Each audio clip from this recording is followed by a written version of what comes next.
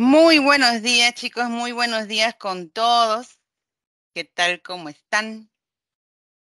Feliz nuevo año a cada uno de ustedes. Buen día, buen día, buen día. Y gracias también a los 58, 9, 10, 11, 12, 13, 12, 15, 16.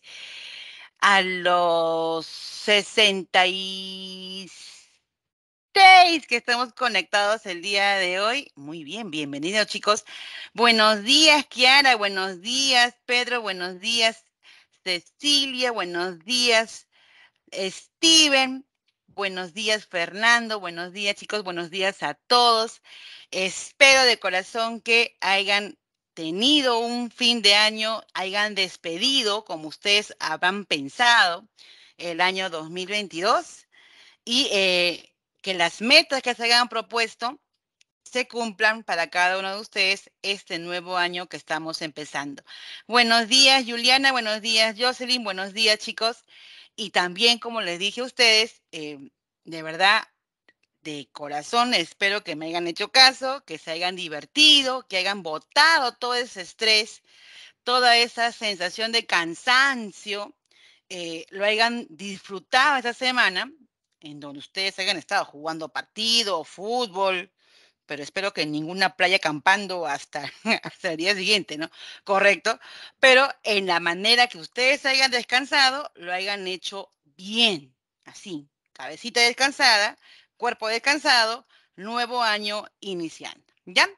Chiquitines, hoy tenemos una nueva semana, semana número 9, ya hemos pasado ya el proceso de los dos mesecitos y como ustedes saben, ya la pre avanza, avanza y avanza. La pre no va a parar. Yo sé que muchos de ustedes piensan que pasar, pero hoy día era feriado, no hay carros por mi casa y todo lo demás. Bueno, es feriado para un sector público. Lastimosamente tú y yo estamos dentro del sector privado y además no tenemos tanta tampoco cuestión de salir o no salir porque tu modalidad es virtual, ¿correcto? Así que no perdemos nada, el pasaje no gastamos, nos cobran doble, así que chévere.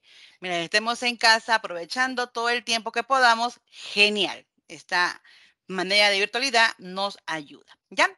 Bien, chiquitines, de todo corazón, nuevamente a ustedes les em, deseo que pasen un, o que hayan pasado, perdón, unas lindas fiestas, unas lindas navidades, unos lindos años nuevos y que todo, todo, todo lo que se hayan propuesto les vaya súper bien este año final. Ya, o en este año que estamos iniciando, un año final, ¿no?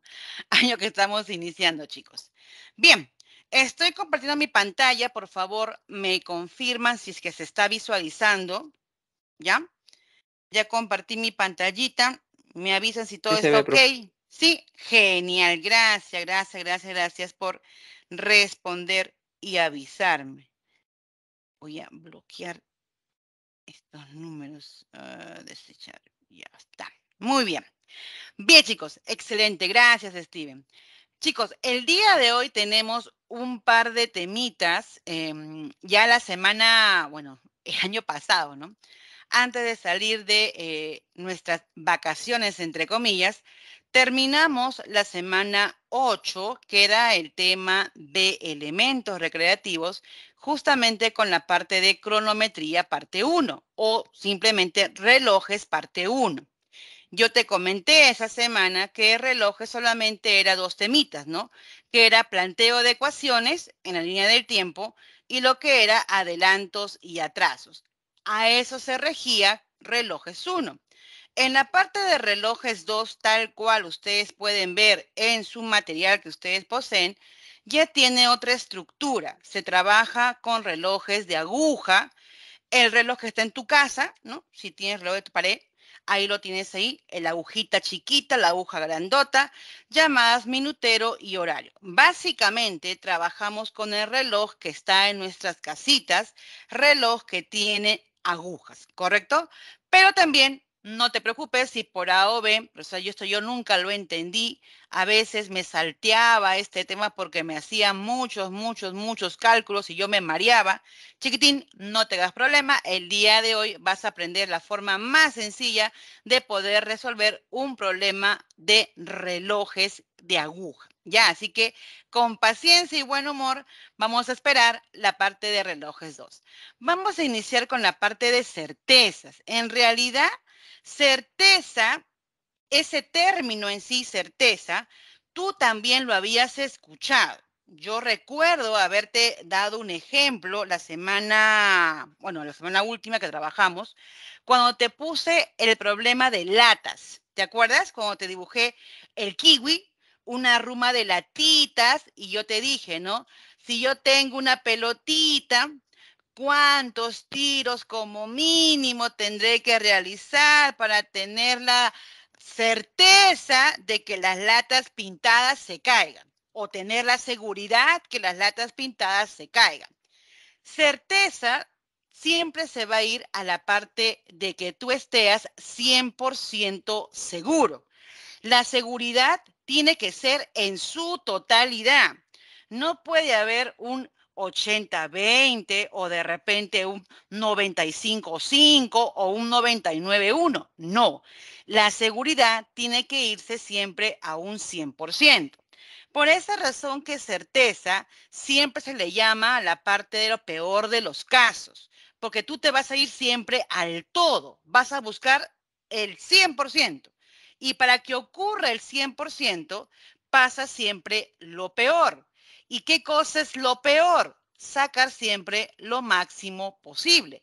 El peor de los casos en la parte de certezas generalmente es sacar lo máximo que hay. Y aquí viene justamente una controversia que ustedes seguro se han dado cuenta al leer las preguntas. Profesora, pero a mí me dicen así, ¿cuántas extracciones como mínimo debo de hacer para tener la certeza? Y ahora usted me dice que el peor de los casos es sacar el máximo posible. Pues sí, chicos, el peor de los casos es sacar el máximo posible. Esa palabrita mínimo que aparece en tu enunciado, tómalo entre comillas, ¿correcto? Va a ser válido para dos tipos de situaciones. En un reto te lo voy a explicar. Pero de forma general, certezas, siempre, siempre, siempre debes pensar en esto. Soy la persona más piña del mundo, por lo tanto, no lo que yo quiero es lo que no va a salir. Siempre sale primero lo que no necesito. Aquí te vas a poner en el, caso de un sorteo de Navidad, ¿no? Es como quizás tu mamá o tú en el mercado, en esta fiesta que ha pasado, han participado en un sorteo de la casera de las venestras o la abarrotes o del pollo o del pavo, no lo sé, y han participado quizás tu nombre nunca salió. Soy tan piña que si había 50 personas participando, mi nombre no salió ni a la primera, ni a la tercera, ni a la quinta, ni a la décima. No me gané nada. Siempre te vas a poner en la posición que tú eres bien, bien, bien piña. Lo que tú quieres no sale. Lo que no quieres sale primero. Recién al final, cuando ya no hay otra opción, lo que tú necesitas es lo que vas a tener que sacar, ¿correcto? A eso básicamente le llamamos certezas. Yo te comenté hace un ratito que lo vamos a ver en dos situaciones, por la parte mínimo. Y acá te voy a explicar solamente un poquito antes de entrar dentro del PPT. No recuerdo si lo han hecho de este modo, pero en todo caso te lo explico acá. Chicos, certeza, la palabra certeza en sí, se divide en dos situaciones. Hay certeza dentro de la parte del azar y hay certeza donde no existe el azar. ¿Qué diferencia tiene una forma de la otra? Cuando tú leas, porque lo tienes que leer en el enunciado, y aparezca tiene que aparecer la palabra azar, tú tienes que interpretarlo de esta manera. Todos los objetos son iguales. Todos. Si la palabra azar está dentro de tu enunciado, tú tienes que entenderlo así. Todos los objetos que a ti te dan, si es bolitas, todas las bolitas son iguales, del mismo peso, del mismo tamaño, de la misma forma, todas son iguales. Si a ti te dan zapatos, todos los zapatos son iguales, de la misma textura, de la misma forma. A eso tú tienes que saberlo llevar, ¿correcto? Cuando la palabra azar está dentro del enunciado, tú tienes que entender que todos los objetos que te dan son iguales. Por lo tanto, si la palabra azar está ahí, implica que todos tienen la misma posibilidad, así se llama, posibilidad de ser extraídos, ¿correcto? A eso le llamamos nosotros certezas con azar. Todos son iguales, por lo tanto, todos tienen la misma posibilidad de ser extraídos, ¿vale? Muy bien, eso por un lado. ¿Qué pasa con el otro tipo de certezas, donde la palabra azar no está en el texto? Chicos, si la palabra azar no está dentro del texto, significa que los objetos no son iguales. Y por lo tanto, no todos tienen la misma posibilidad de ser extraídos. Todo es caso contrario, ¿correcto? No todos tienen la misma posibilidad de ser extraídos. A eso le llamamos certezas sin azar. Generalmente cuando no hay azar aparece la palabra seguridad. ¿Correcto? En el texto aparece la palabra seguridad. No hay azar, pero me ponen la palabra seguridad. Nada más. Es la parte contraria de la cuestión anterior. Lo que la mayoría de ustedes ha aprendido y sabe manejar es esto. Es esto. Yo les aseguro que todos han visto problemas de este tipo. En una caja hay bolitas de colores y quiero sacar bolitas del color tal. ¿Cuántas este, extracciones como mínimo debo ser eh, al azar para encontrar dos bolitas del mismo color? Típico problema que la mayoría ha manejado, pero muy pocos hemos visto este tipo de problemas donde la palabra azar no existe. No te preocupes, el día de hoy te lo vamos a mostrar, ¿ya?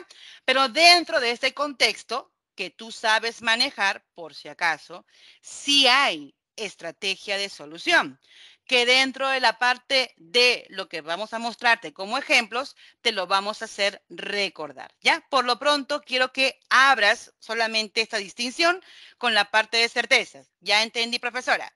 Hay certezas con azar, certezas sin azar. Las que son con azar, los objetos son iguales. Los que no hay azar, los objetos no son iguales.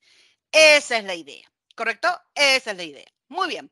Voy a limpiar lo que está acá y vamos a entrar juntitos dentro del PPT. Si es que hay algo que no se entiende, por favor me avisan para poder explicarte nuevamente cada detallito. ¿Ya? Primer tema, certezas. Eso también lo tienes tú, lo vamos a leer igual juntitos, lo que nos dice lo que es en sí, ¿no?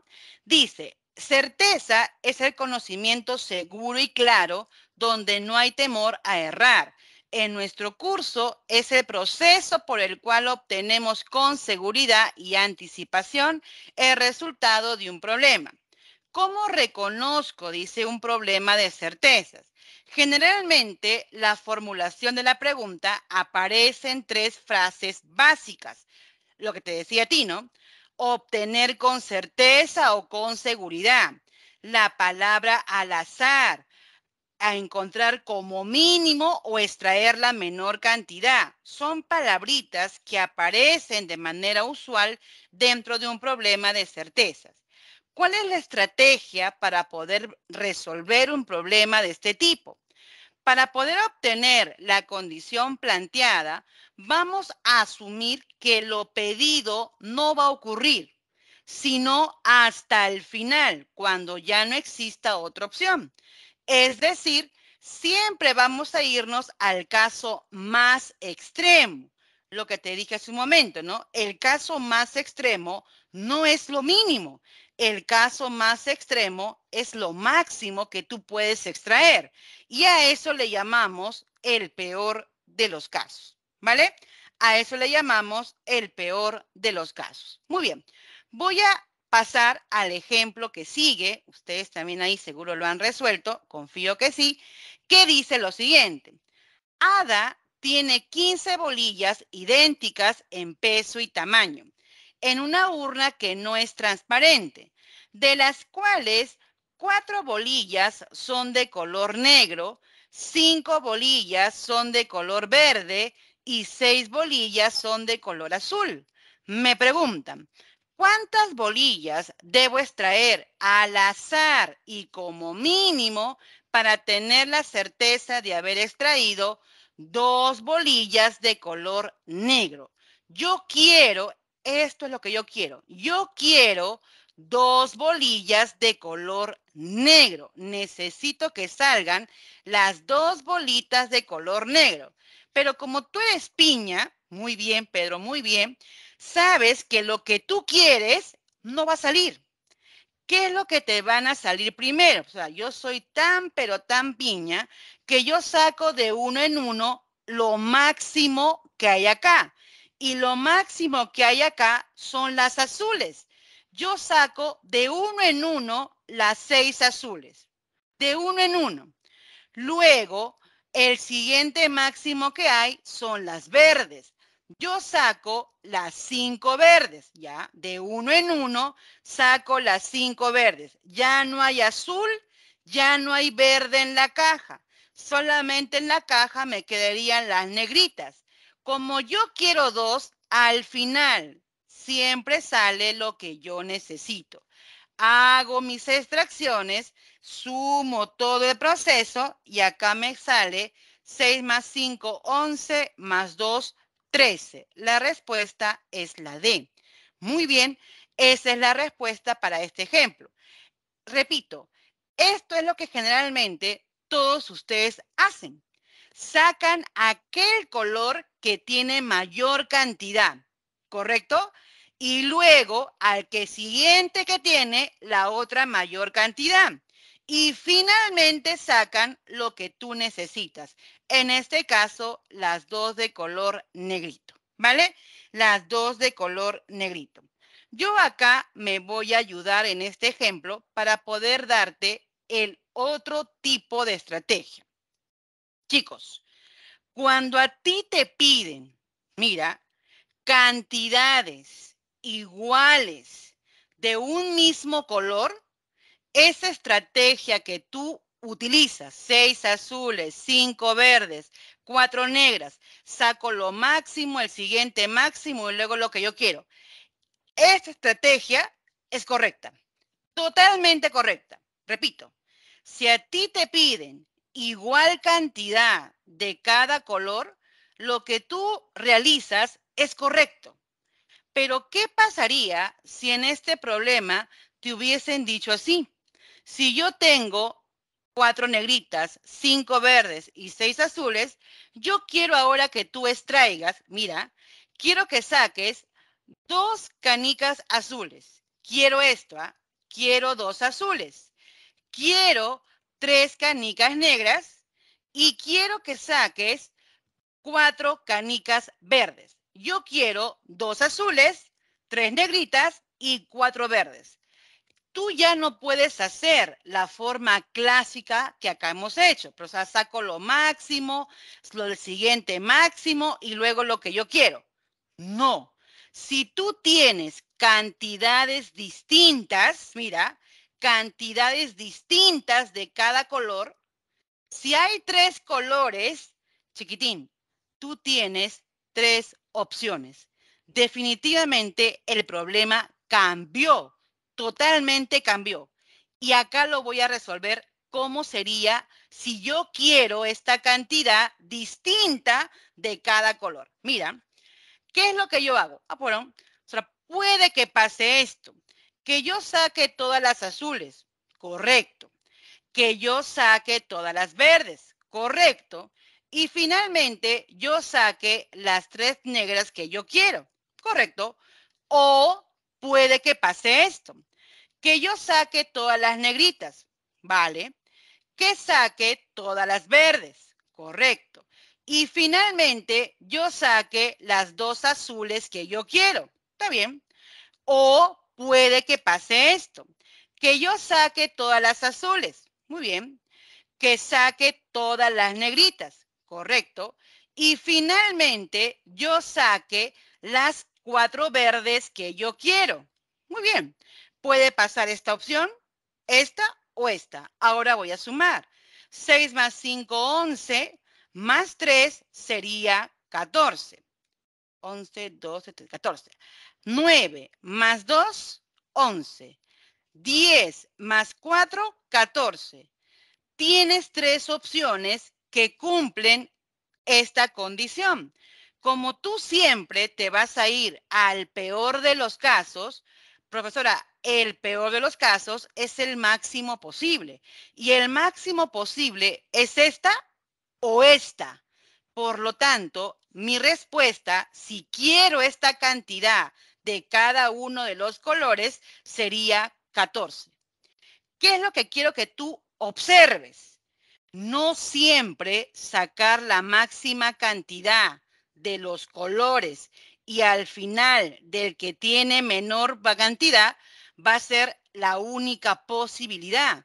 Mira, acá hay otra manera y también me da la misma respuesta.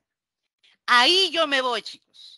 Ustedes, cuando tengan un problema de este tipo, tengo tres colores y me piden distintas cantidades, si hay tres colores, tú tienes tres opciones. Si acá me pedirían cuatro colores de distinta cantidad, si hay cuatro colores, va a haber cuatro opciones, ¿correcto?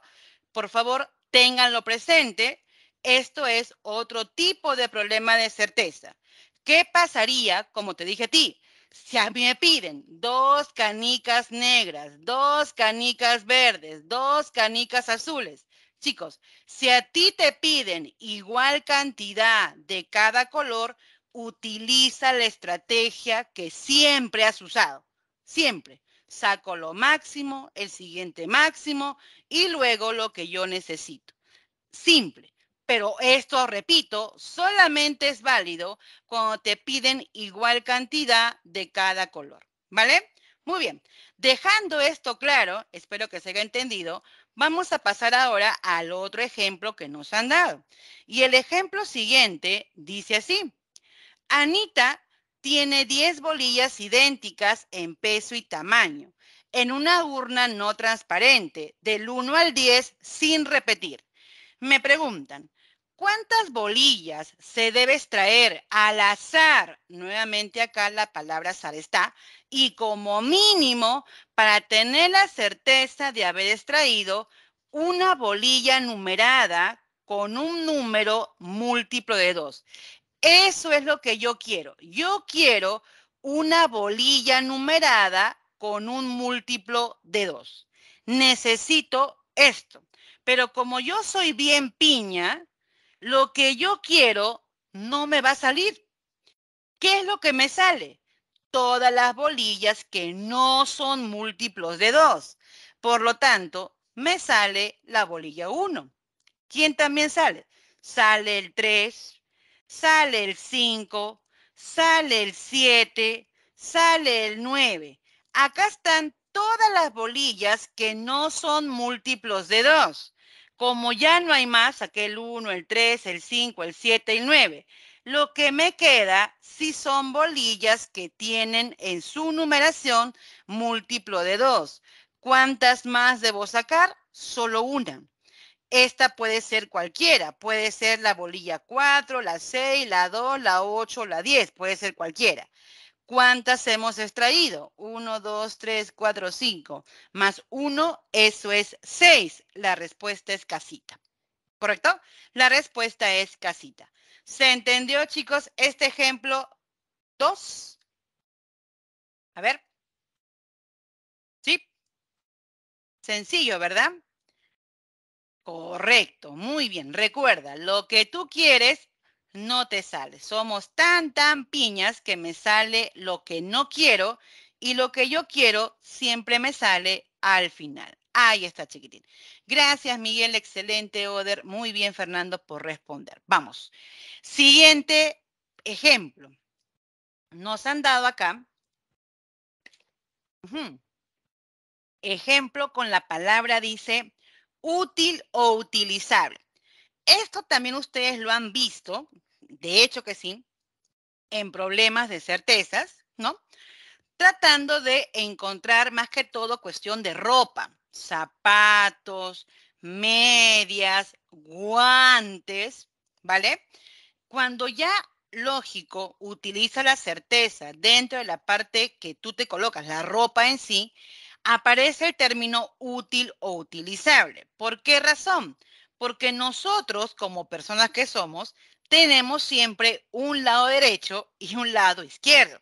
Tu lado derecho no tiene la misma forma que tu lado izquierdo. Es como un reflejo simplemente, ¿correcto? No es igualito. Tiene una forma tu piecito derecho y otra forma tu pie izquierdo. Por más que tú te puedas colocar tu zapato derecho en tu pie izquierdo, no caminas cómodamente. Acá la palabra útil justamente se refiere a esto. Vas a colocarte prendas, sea ropa o sea zapatos o sea guantes, pero que tú te sientas cómodo.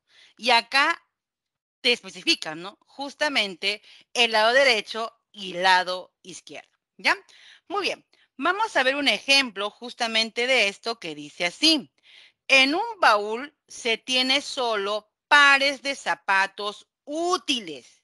Significa que tú no tienes en tu cajón dos izquierdos y un derecho. No, tienes un izquierdo, un derecho, un izquierdo, un derecho. ¿Correcto? Ya. Solamente zapatos útiles, de los cuales Tres pares son de color blanco y tres pares son de color blanco con marrón. Ahí está, blancos y blanco con marrón. Como se muestra en la figura. ¿Cuántos zapatos se debe extraer al azar y como mínimo para tener la seguridad de haber extraído un par de zapatos utilizables? Esto tienes también que recordarlo. Recuerda, si la palabra azar está dentro del enunciado, tú tienes que entender que todos tus zapatos son iguales. Aunque tú digas, pero eso no es verdad, mis zapatos no son iguales. Chicos, si la palabra azar está, tienes que entenderlo que los zapatos son iguales. Mismo peso, mismo tamaño, misma textura, misma forma también. ¿Correcto? Como yo estoy asumiendo que mis zapatos son iguales, yo soy bien piña, pues. Yo quiero un par utilizable. Como soy tan, pero tan piña, a mí me salen todos, mira, todos los lados cualquiera, derechos. Soy tan piña que cuando saco de uno en uno, solamente me salen zapatos derechos. Por ejemplo, me sale los tres derechos de color blanco. Derecho blanco, derecho blanco, derecho blanco. Meto mi manito, soy tan, pero tan piña que me salen los tres derechos marrones. Tengo derechos blancos, derechos marrones. Necesito sacar sí o sí un zapato más. Este zapato adicional sea blanco o sea marrón, tú sabes que ya es izquierdo. Por lo tanto, ya completé un par de zapatos que es utilizable. ¿Cuántos has extraído? 3 más 3 más 1, 7. Correcto, Kiara. La respuesta es la D. ¿Vale? Recuerda, si la palabra azar está dentro de la parte de los zapatos, tú tienes que entender que los zapatos son iguales. mismo peso, mismo tamaño, misma textura. Como soy tan piña, yo puedo sacar todos los derechos o todos los izquierdos. Si yo saco los derechos, sería tres derechos blancos, luego tres derechos marrones, finalmente sacaría un zapato más, ese adicional, sea blanco o sea marrón, va a ser sí o sí izquierdo y ya completé mi par de zapatos utilizables. ¿Vale? Muy bien, chicos. Acá también voy a recalcar que las medias, por si acaso, tus calcetines o las medias que tienes en tu cajón, no tienen distinción de derecho izquierdo. Eso de forma lógica, porque yo sé que haces esto, ¿no? Tú lavas tu media cuando lo secas, lo primero que hacemos es esto, hacerlo bolita, ¿no? O sea, para ahorrar espacio. Lo hacemos bolita. Tú, cuando te quieres colocar tu media, deshaces la bolita y no piensas ahí, ah, derecho o izquierdo. No, a la que caiga, ¿no? Tú agarras tu media, te la pones. Las medias no tienen distinción de derecha a izquierda. Lo mismo pasa con los guantes, esos guantes de invierno, ¿correcto? Los guantes de invierno que tienen cinco dedos, ¿ya? Lo de cinco dedos, tampoco tienen distinción. Las medias no. Las medias no. Yo no, bueno, no. No, quiera. Las medias no tienen diferencia de derecho a izquierdo. Lo mismo pasa con los guantes de cinco dedos. Los guantes de cinco dedos para el frío, los que usamos para el frío, ese guante de tu mano derecha también calzaba exactamente en tu mano izquierda. Lo único que hacías era voltearlo, nada más, y calzaba tal cual. No había ningún problema. ¿Qué tipo de guante sí tiene diferencia? Acá está los guantes de box. Tú sabes que el guante de box está hecho como de cuero, ¿correcto? De cuero. Ahí, como esto es como de cuero, tú no lo puedes voltear, pues. No es lo mismo que tener un guante de lana que puedo voltearlo y también tiene cinco dedos. Un guante de box es duro. Por lo tanto, esto sí tiene diferencia, al igual que los zapatos de derecho a izquierda. ¿Ya? Te lo recalco por si acaso. Las medias no hay diferencia y lo mismo pasa con los guantes de cinco dedos. Los guantes de box y los zapatos sí se diferencian lado derecho y lado izquierdo. ¿Vale? Muy bien. Voy a limpiar esta idea, pero también te voy a hacer reflexionar con estos zapatitos. Chiquitín, Muchos de ustedes, y sé que se están preguntando en el momento, dirán lo siguiente, pero profesora, esto no es real, esto no es cierto. Mi cajón de zapatos, no todos son iguales. Yo en mi cajón de zapatos tengo mis bailarinas, mis sandalias, mis zapatillas, mis zapatos con taquito, mis chinitos, mis sandalias de tira. Tú tienes ahí una variedad de zapatos. Y tú sabes que no todos son iguales. No todos pesan lo mismo. No todos tienen la misma textura. No todos tienen la misma forma. Tu cajón de zapatos real no es este problema que está acá. Al revés, tu cajón de zapatos real viene justamente con esta idea, donde no hay azar. ¿Por qué? porque tus zapatos no son iguales. Justamente lo que acá te estamos haciendo recalcar. En algunos problemas, dice, vamos a observar que la palabra azar no está. No hay, no hay azar. Estos son los problemas llamados con un mínimo de seguridad. En este tipo de problemas hay que buscar una estrategia para decidir. Mira lo interesante que se vuelve este tipo de problema. Tú vas a decidir. ¿Qué cosa, profesora? Vas a decidir qué te conviene. Mira, el que actúa ahí eres tú. Tú vas a tomar la decisión que te conviene a ti extraer primero. ¿Cuál es el objetivo cuando la palabra azar no está? Obtener el mínimo posible. Aquí sí, aquí sí la palabra mínimo sí tiene valor. En cambio, en el caso anterior, cuando la palabra azar sí estaba en el texto, tú sabías que era siempre el peor de los casos. Y el peor de los casos era el máximo posible.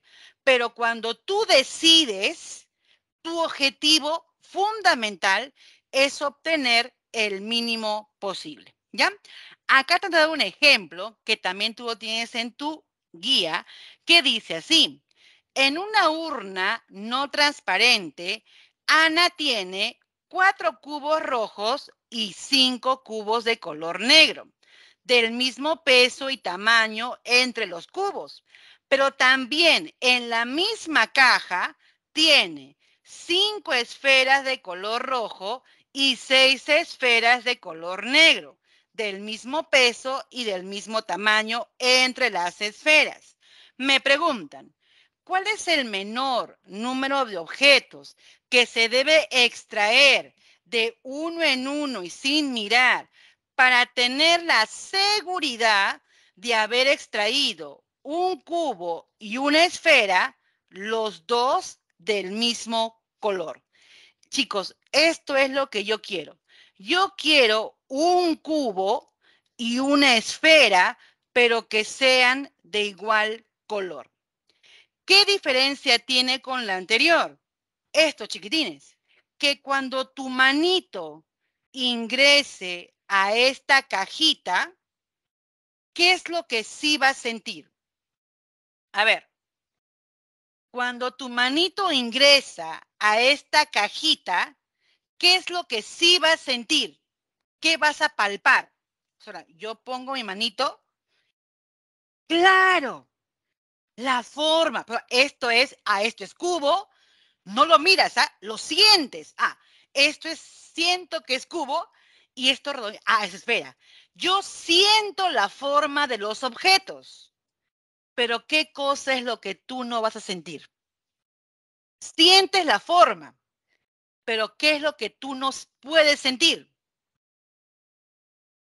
Yo siento la forma, pero ¿qué es lo que no puedo sentir? Correcto, Juliana. O sea, no siento el color. Sé que es cubo, pero ¿qué color será? Sé que siento que es esfera, pero ¿qué color será? Y acá viene tu decisión. Como tú sientes la forma, tú sientes la forma, tú decides. ¿Qué pasaría si mi manito decide primero sacar cubo? Tú eliges, ¿ah? como tengo cubo y tengo esfera, ah, ya, a ver qué pasa. Saco cubo. Tú sacas cubo y automáticamente aparecen dos opciones. Te puede salir tranquilamente cubo de color rojo o te puede salir tranquilamente cubo de color negro. Tú sacas un cubito cuando lo sacas el cubo, recién ves el color. Ah, mira, me salió rojo. O de repente, ah, me salió negro. Como yo tengo dos opciones en los colores, voy a comenzar con esta primera opción. ¿Qué pasaría si el cubo que yo saqué me salió de color rojo? Muy bien, yo ya encontré el cubo. Ya no tiene sentido sacar más cubo. ¿Para qué? Yo quiero uno. Acá está un cubo rojo. Sacaste. Tú vas a buscar esfera, pero que te salga esfera de color rojo. Y ahí viene justamente la forma de certeza. Como tú no sabes el color, tú sientes que es esfera y lo sacas. Saco esfera. Pero como yo soy piña, no me va a salir esfera roja. Pues. ¿Qué me sale? Saco esfera y me sale esfera de color negro. Saco otra esfera, otra vez negrito, otra vez negro. negro, negro, de uno en uno. De uno en uno me salen las seis esferas de color negro. Yo no quiero color negro, yo quiero esfera color rojo. Necesito meter mi manito una vez más a esta cajita y sacar la esfera que queda. Esa esfera que queda, sí o sí, va a ser de color rojo. Como yo saqué todas las negritas, la que me queda en la caja solamente son de color rojo. Suficiente sacar una más y ya encontré lo que yo quiero. Un cubo rojo, una esfera roja. ¿Cuántas extracciones he hecho? 6, 7, 8. Acá hay 8 extracciones. Ahora, chiquitines, me voy a ir a la siguiente opción. ¿Qué hubiera pasado si el cubo que tú sacaste hubiera sido de color negro. Tú ya tienes cubo de color negro. ¿Qué vas a buscar? Que la esfera que yo saque sea de color negro. Pero como yo soy piña, ¿qué es lo que ocurre? Yo siento que es esfera, lo saco.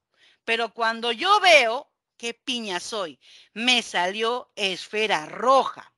¡Ay, qué piña! Y de uno en uno saco la siguiente roja, siguiente, siguiente, siguiente. Y así saco todas las esferas rojas que hay, las cinco rojas que yo tengo. En la cajita solamente me quedarían esferas de color negro.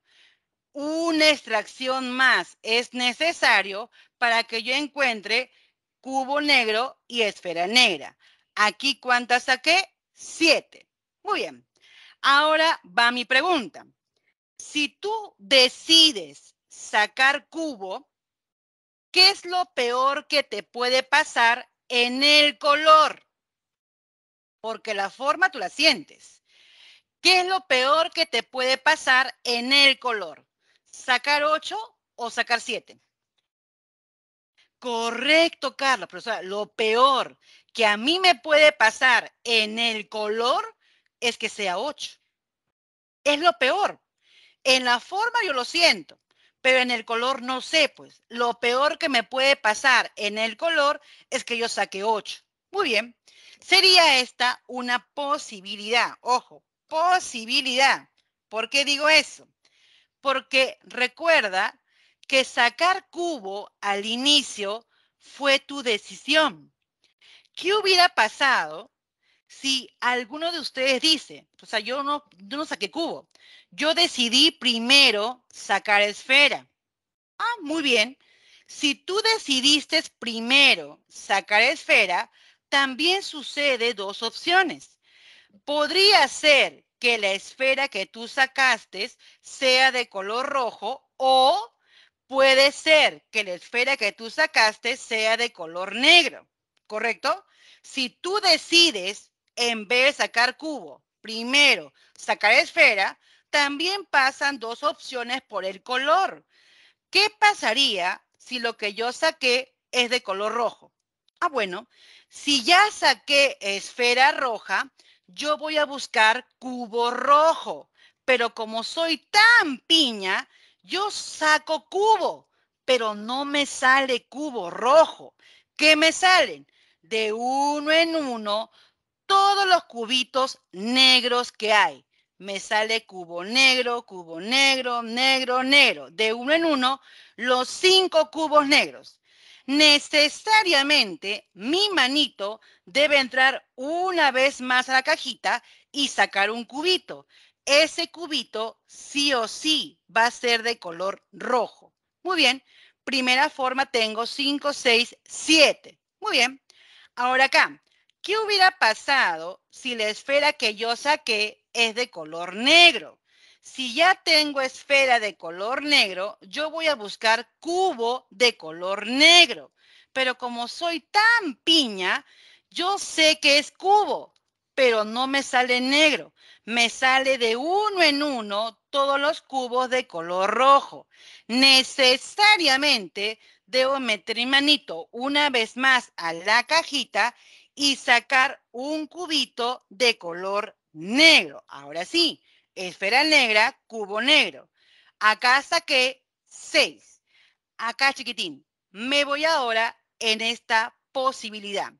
Si tú decides sacar esfera, ¿qué es lo peor que te puede pasar en el color?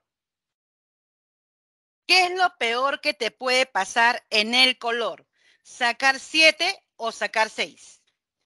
¿Qué es lo peor que nos puede pasar en el color? Correcto, pues soy tan, pero tan piña que lo peor que me puede pasar si yo saco esfera es que sea 7. Muy bien. Chiquitín, acá viene lo complicado, que la mayoría se confunde. Espero que ustedes no lo hagan y entiendan esto. Si tú eres el que decide qué te conviene para obtener lo mínimo posible, escucha esto. Si tú sacas cubo, te sale 8.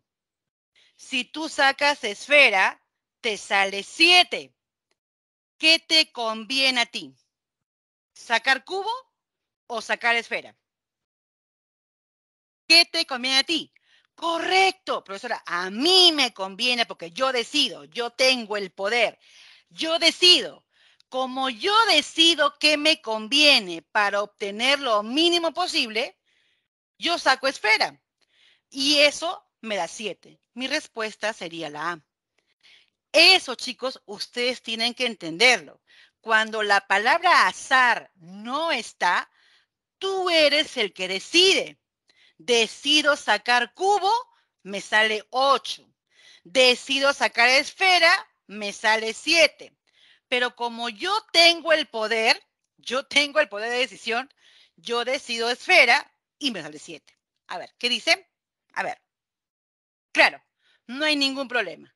Voy a limpiar lo que está acá, ya, lo voy a limpiar y voy a retroceder.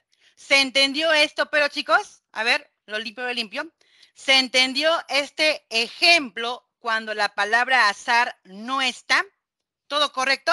Genial, muy bien. Ahí está. La clave sería avioncito. Voy a volver un ratito. Su compañera tiene una preguntita, quizás a todos también les haya quedado alguna duda, así que lo salvamos. Ahí está. ¿Qué pasaría? Ah, bueno. Si a mí me dijeran sin azar, tendría que saber más posibilidades, ¿no? Mm. a ver, si me dijeran que no hay azar, puede ser que yo saque un zapato. ¿Sabes dónde está el detalle, Kiara? Es que son zapatos y los zapatos no me dicen que son de diferentes estructuras. Es como decir, yo tengo nada más color, tengo color. Yo podría hacer un ejemplo así, ¿no? También con zapatos, ¿ah? Con zapatos. Claro que sí. Te dicen a ti, en tu cajón de zapatos, tú tienes tres pares de zapato, perdón, tres pares de sandalia ya, en tu mismo cajón tienes dos pares de zapato con taco 5, eh, ya. En tu mismo cajón tú tienes dos pares de zapato también de taco 5, ya, según yo un zapato de hacía, taco 5. Pero estos dos pares taco 5 son de color blanco y estos dos pares de zapatos de taco 5 son de color negro. Muy bien. Y tengo acá tres pares de sandalia. Tú puedes distinguirlo. Claro que sí. Tú me des tu manito y siento. Ah, ya, tengo tres pares de sandalias, tengo dos pares de taco 5 blanco, dos pares de taco 5 de color negro, ¿correcto? Si yo acá te pediría a ti, yo necesito que saques un par de zapatos y un par de sandalias del mismo color. Yo quiero un par de zapatos, ya, taco 5, más un par de sandalias del mismo color. Muy bien. Sandalias voy a poner acá, digamos, este, que sean también de color blanco, ¿ya? Tres pares color blanco y voy a poner dos pares de sandalia de color negro. Yo quiero un par de zapatos y un par de sandalias que sean del mismo color, ¿vale? ¿Qué es lo peor que me puede pasar? Tú igual vas a sentir la forma de la sandalia y vas a sentir la forma del zapato taco 5. Tu manito decide. Si tú decides primero sacar la sandalia, que es más o menos así, ¿no? O sea, yo decido sacar sandalia. Ya, sacas la sandalia, pero tú no sabes qué color es la sandalia. Puede ser que saques sandalia color blanco o saques sandalia color negro. Si tú sacas sandalia color blanco, tú vas a buscar que tu zapato taco 5 sea también de color blanco. Pero como tú eres piña, ¿qué es lo que va a pasar? Pues ahora yo quiero sandalia blanco. Ah, pero como yo soy piña, mira, mira, mira, y quiero inclusive que sea utilizable, soy tan piña que me sale esto. Una sandalia blanca, digamos acá, lado derecho. ¿Correcto? Soy tan piña que la siguiente también me sale sandalia blanca derecho. Como son blancos tres pares, soy tan piña, sandalia blanca derecha. Ya, aquí recién al final me sale sandalia blanca izquierda. Bueno, ahí tengo ya mi par de sandalia utilizable de color blanco. ¿Correcto? Podría pasar esto. Y es más incluso, soy tan pero tan piña, mira, le agrego algo más, ¿ah? Yo quiero sandalia blanca, un par, me sale blanco derecho, blanco derecho, blanco derecho. Pero soy tan piña que también me sale sandalia negra derecha, sandalia negra derecha. Y acá saco un zapatito más. Muy bien. Acá sacas una sandalia más. Chiquitín, acá tú te aseguras que la sandalia blanca ya tienes tu par, digamos tu par blanco o negro, ¿no? Tu par de un color. ¿Se entiendes acá? A ver, ¿me están siguiendo chicos? Saco blanco, derecho, blanco, derecho, blanco, derecho. Soy piña, sale negro derecho, negro derecho y requiero una sandalia más. Esta sandalia más va a ser blanco o va a ser de color negro, ¿correcto? Ahora, ¿qué necesito acá? ¿Qué pasaría si este 1 adicional que ha sacado es de color blanco? Acá viene la diferencia. ¿Qué pasaría si este sandalia adicional fue de color blanco? Tú ya sacaste sandalia blanca, un par completo. ¿Qué vas a necesitar? Zapato taco 5 de color blanco, necesariamente de color blanco. ¿Qué es lo que ocurre acá? O sea, soy tan piña que no me va a salir zapato taco 5 de color blanco. ¿Qué es lo que ahí me sale? Me van a salir los dos derechos taco 5, taco 5, em, derechos le cambio. Zapato es, ¿no? Zapato, taco 5. Zapato, taco 5. Derecho, me salen los dos. También soy tan, pero tan piña, ¿ya? De color em, blanco, ¿no? Blanco lo puse azul, ¿no? Zapato, taco 5. Ah, no. Está bien, está bien, está bien, está bien, está bien me sale de color negro, ¿ya? Negro. Soy tan pero tan piña que me sigue saliendo los dos zapatos tacos 5 derechos, pero de color blanco, ¿correcto?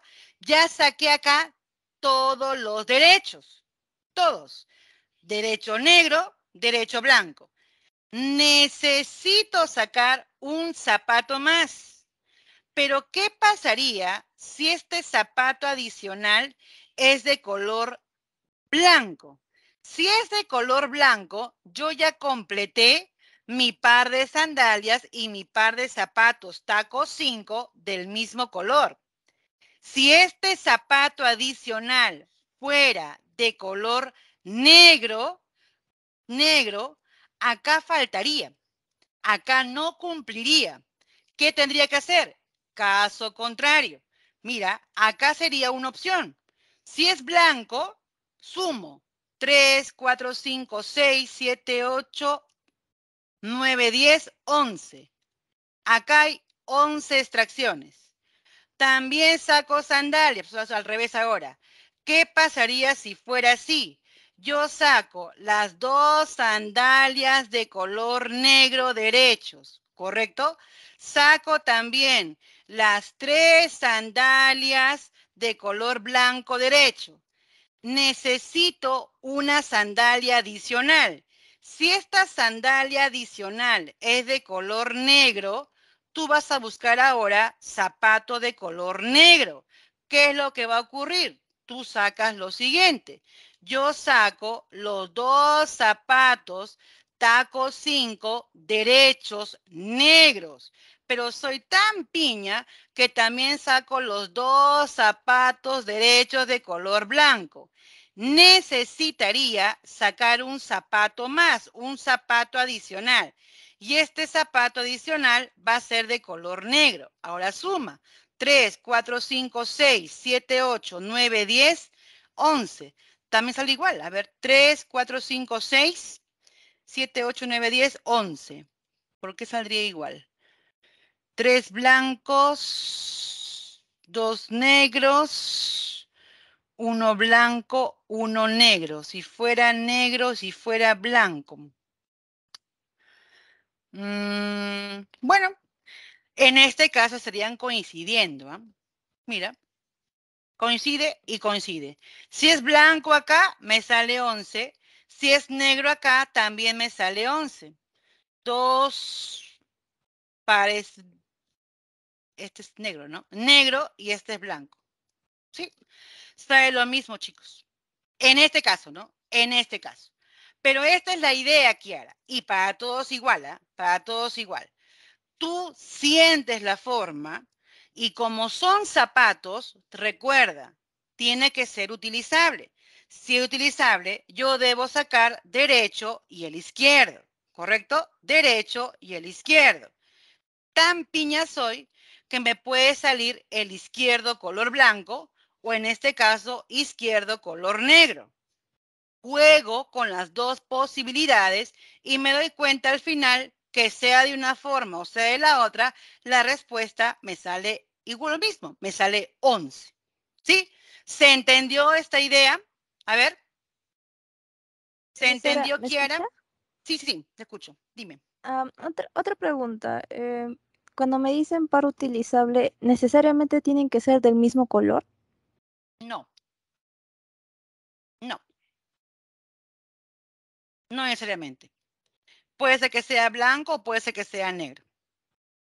Si la pregunta pues fuera, pues la pregunta fuera eh, un par utilizable y del mismo color, ahí sí. Utilizable no implica que sean de igual color. Tranquilamente, tú te puedes poner un zapato color negro en tu pie derecho y un zapato color blanco en tu pie izquierdo. Si son tus zapatos, te van a quedar. Por lo tanto, tranquilamente puedes caminar. Tranquilamente puedes caminar. Sí, pero justamente lo que preguntaba tu compañera. Ser utilizable no implica que sean del mismo color. La pregunta te tiene que especificar. Yo quiero que sea utilizable y del mismo color. Ahí ya.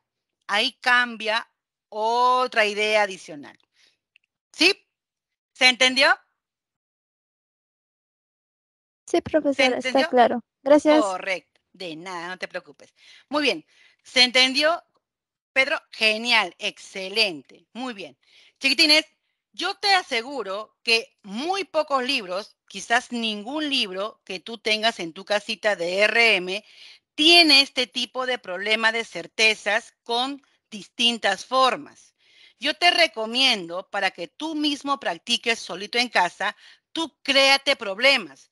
Ponle fichas triangulares de, un color, eh, azul, triangular, eh, color rojo, siete azules, cinco triangulares rojas, eh, no sé, hexágonos de color eh, azul, ocho, nueve hexágonos de color rojo, así. Ponte ejemplos tú solito y pídete cosas. Yo quiero dos triángulos del mismo color, al igual que hagas hexágonos. Créate problemas para que practiques y se te quede tan, tan claro la idea de que cuando no hay azar, es tu decisión. Tú eliges qué cosa voy a buscar, qué cosa voy a buscar, qué cosa necesito para poder encontrar lo mínimo posible. ¿Ya? Recuerda, por favor, esa idea porque sé que en los problemas de ese tipo en los libros antiguos no hay. Generalmente no hay. ¿Ya? Muy bien, chicos. Vamos a ver ahora los problemas de la guía de clase y comenzamos. Pregunta 1. Dice así, nuestra amiga Carol tiene 36 esferas idénticas en peso y tamaño en una urna no transparente, de las cuales son 10 de color negro, hay 8 de color azul, 7 son blancas y 11 son de color verde. Me preguntan, ¿cuántas esferas se debe extraer al azar como mínimo para tener la certeza de haber extraído por lo menos cinco esferas del mismo color y por lo menos, perdón, cinco esferas de otro color diferente? Agüita, agüita, agüita. Mm, ya. Ya está.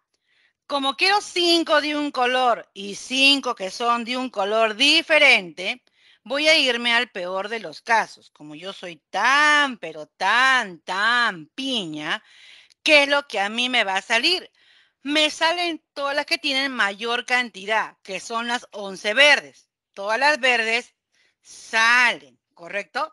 Luego me salen cuatro esferas de color negro. Quiero cinco. Soy tan piña que las cinco no me salen, pues. Me salen cuatro. Luego también me salen cuatro blanquitas. Yo quiero cinco, me salen cuatro. Luego también me salen las cuatro azulitas. Yo quiero cinco, me salen cuatro. ¿Cuántas más necesito? Solamente una adicional. Esa una adicional ya encontré cinco esferas de un color y cinco esferas de un color diferente. Por lo tanto, contando las extracciones, solamente hemos hecho 24. Muy bien, Kiara. Excelente, Oder. Muy bien, Rebeca. La respuesta es la D. ¿Ya? Saco lo peor, que sería lo máximo, que es las verdes. Hay 11 verdes. Luego quiero 5. Soy piña. Cuatro negras, cuatro azules, cuatro blancas, una más adicional y ya completé cinco de otro color. Muy bien, pregunta una resuelta. Vamos ahora a la pregunta número dos. La pregunta dos dice así. Isabela tiene 90 bolos en peso y tamaño idénticos en una urna no transparente, del 1 al 90 sin repetir.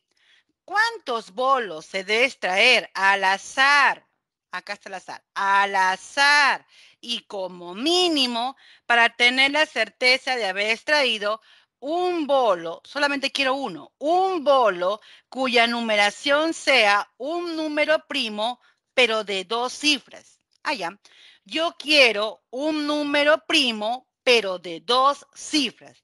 Chiquitín, acá está del 1 hasta el 90. 1, 2, 3, 4, 5, 6 y acá está el último que es el 90, del 1 al 90, ¿correcto?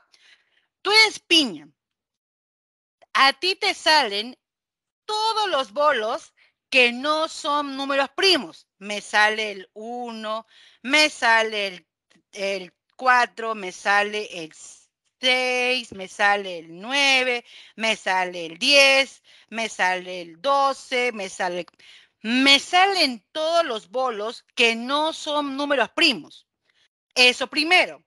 Y también me sale al final, ¿no? Al final, los bolos que son primos, pero solamente de una cifra. Eso a mí me va a salir. Al final, recién al último, me van a salir un bolito que es primo de dos cifras. Y eso justamente lo han hecho acá, mira, han separado. Acá están todos los bolos que son números primos que tienen dos cifras. Dos cifras, dos cifras, dos cifras. Y acá están todos los bolos que no son números primos, incluido los primos de una cifra. ¿Correcto? Los primos de una cifra. Todo esto sale. Contemos. Acá hay 1, 2, 3, 4, 5. 5, 10, 15, 20, 25, 30, 35, 40, 45, 50, 55, 65, 65 más 5, 70, 70 más 5, 70, 75, perdón, 70, ¿no? 65, 70. Conté mal, 70. Hasta acá hay 70. De este grupito, que son los primos que tienen dos cifras, solamente basta sacar uno de ellos. Basta que yo saque uno y ya cumplo la condición de que sea un primo de dos cifras. Sumando todo, esto me da 71. La respuesta está en la A. Correcto, Kiara. La respuesta es la A. Ahí está, chiquitín. Justo que te decía, lo han separado, bolos de dos cifras, primos, bolos que no son primos y con bolos que son primos de una cifra, ¿ya? Sumando todo, acá hay 70, saco uno más y al final cumple la condición de extraer un bolito primo de dos cifras. 71 extracciones para la pregunta 2. ¿Ya? Para la pregunta 2. Muy bien. La pregunta 3 es parecida, más o menos parecida a esta pregunta 2, que dice lo siguiente. Mariana tiene 65 fichas idénticas en peso y tamaño en una urna no transparente, de las cuales hay cinco fichas que tienen impreso el número 1, 5 el número 2, 5 el 3 y así de forma sucesiva a 5 que tienen impresas el número 13. Me preguntan, ¿Cuántas fichas se debe extraer al azar y como mínimo sin reponerlas, o sea, sin volver a colocar en la cajita, para tener la certeza de haber extraído dos fichas impresas con números de un dígito que sumen 11? Chiquitín, ¿quiénes suman 11? A ver, profesora, 9 más 2 me da 11. 8 más 3 me da 11. 7 más 4 me da 11. 6 más 5 me da 11. ¿Qué más? ¿Qué me da 11? 5 más 6 es lo mismo. Ya. Todos estos me dan 11. Como yo soy bien piña, ¿qué es lo que voy a sacar? Aquellos que no me dan 11. ¿Quiénes son? Ah, faltó uno más, ¿no? El 10 más 1 también me da 11. ¿Quiénes son? Saco todos los 12, 12, 12, 12. ¿Quién también saco? Todos los 13, 13, 13, 13. Esos dos bloques los saco, los saco. Pero como 10 tiene dos dígitos, ahí está, mira, dos dígitos, este no entra. También saco todos los 10 también saco todos los 11. Saco los 10, saco los 11, saco los 12 y saco los 13. 1, 2, 3, 4. 4 por 5, hasta acá hay 20. ¿Correcto? Has sacado ¿va? todos los 12, todos los 11, todos los 10 y todos los 13. ¿Correcto? Luego, ¿qué puedo sacar tranquilamente? Bueno, tranquilamente podemos sacar todos los nueve, todos los ocho, todos los siete y todos los seis. Y de este segundo bloque, el de acá, suficiente sacar uno de ellos. Ah, acá me faltaba. Yo también puedo sacar todos los unos.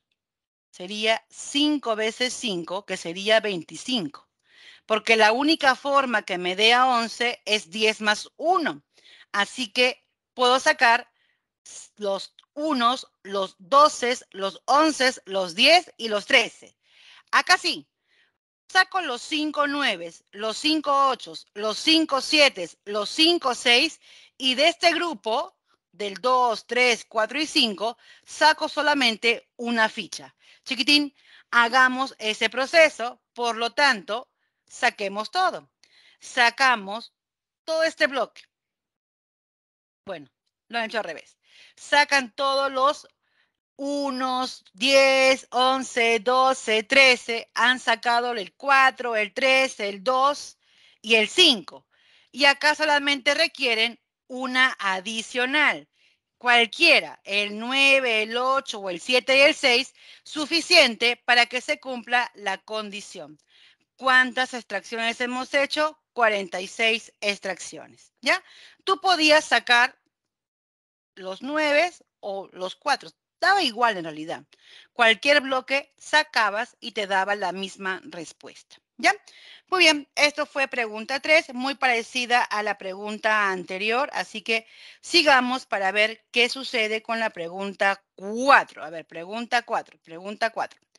Pregunta 4 dice así, en una urna no transparente se tiene 10 bolos idénticos en peso y tamaño, numerados con letras y números del 0 al 9, sin repetir.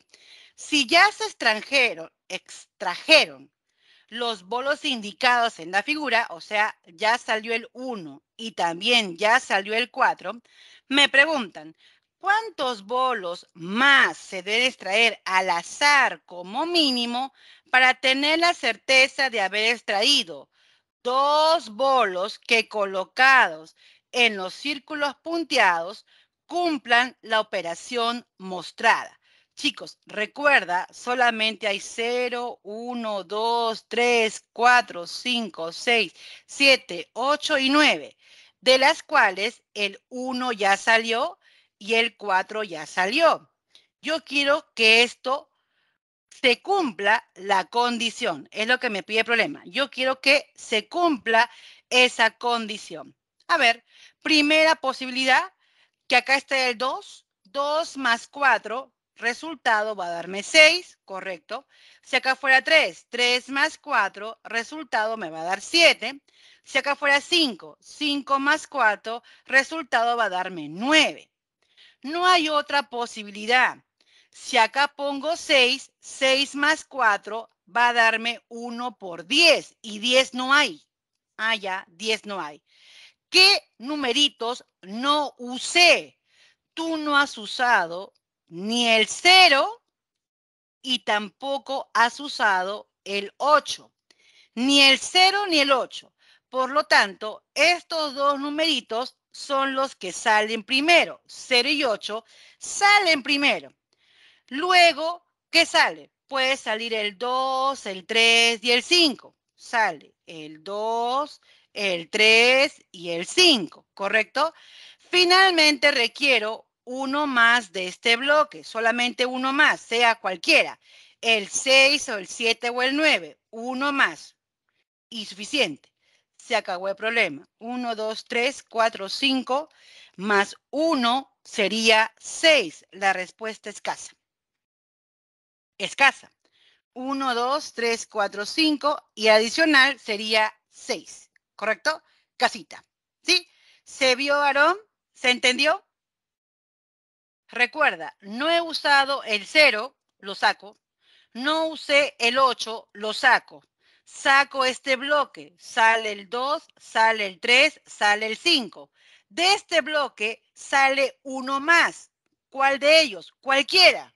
Suficiente, uno, cualquiera de ellos tres. Con este adicional ya se cumple la operación indicada. ¿Cuántos saqué? 1, 2, 3, 4, 5, más el adicional sería exactamente 6. ¿Sí? ¿Se entendió? A ver. ¿Se entendió, Aarón? A ver, me está preocupando ahí. Sí, ¿no? Sí, se está viendo, creo, se está viendo. Ahí está. 2, 3, 5 y una adicional. Muy bien, chiquitines. Respuesta casita. Bien, sencillo y corto problema te han dado en esta oportunidad de este tipo de forma. Pregunta 5. Pregunta 5, pregunta sin azar. A ver, dice así. En una caja hay cinco cubos blancos, cinco cubos negros. Y en otra tiene ocho esferas blancas, perdón, ocho esferas negras y siete blancas. Si el contenido de las dos cajas se echa en una caja grande, allá todo lo han colocado en una sola caja grande. Me preguntan, ¿Cuántos objetos se debe extraer como mínimo de uno en uno sin mirar para tener la certeza de haber extraído un cubo y una esfera del mismo color? Yo quiero un cubo y una esfera de igual color. Como tú ya sabes, chiquitín, tú tienes la decisión, el azar acá no está, tú eliges primero. ¿Qué pasaría si yo saco cubo, ¿ya? Si yo saco cubo, tengo dos opciones. Puede ser que el cubo me salga color blanco o que me salga color negro. Si yo saco cubo blanco, yo voy a buscar esfera blanca, pero como soy tan piña, siento que es esfera y la saco, pero cuando miro el color, me sale color negro. Y de esa manera, de uno en uno, me salen las ocho esferas de color negro. Necesitaría meter una vez más mi manito y sacar una esferita. Esa sí va a ser de color blanco, ¿correcto? Si pasa esta forma de color blanco al cubo, me sale 10 extracciones. Pero también puede pasar esta posibilidad, ¿no? O el cubo que yo saqué me sale de color negro. Si me sale cubo negro, yo voy a buscar esfera negra. Pero como soy tan piña, siento que es esfera y lo saco. Pero no me sale esfera negra. Me sale esfera blanca. Me salen las siete esferas blancas. Necesito una esfera más y esa esfera sí va a ser de color negro. Si yo decido sacar cubo primero, lo peor que me puede pasar en el color es 10. Es lo peor. ¿Correcto?